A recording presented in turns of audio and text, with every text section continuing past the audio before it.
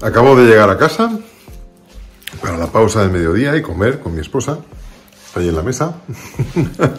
y mi esposa hace un par de días ha comprado una Biblia que está pensada especialmente para pintar en los márgenes, para decorarla cuando uno está leyendo un texto bíblico, dibujar lo que te inspira o hacer anotaciones en los márgenes. Es una Biblia que está pensada a propósito para eso.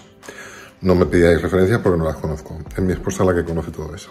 Y acabo de llegar a casa y acabo de hacer su primer dibujo en la primera página de Génesis. Pero lo divertido es que he entrado por la puerta y lo primero que me dice mi mujer es, mira mi creación.